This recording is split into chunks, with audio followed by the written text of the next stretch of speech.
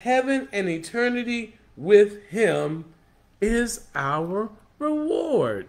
if you think that the new beamer that's sitting outside your home, if you think the new career that uh, you've been able to establish, if you think anything of a material sense is really the provision that God has for you, then I, I, I'm I'm sorry, you are misunderstanding what's going on here. Did you not know that Satan can easily uh, uh, open up an opportunity for you to uh, get something of a material nature? Hey, if I find $20 on the sidewalk, did God bless me or is Satan tempting me?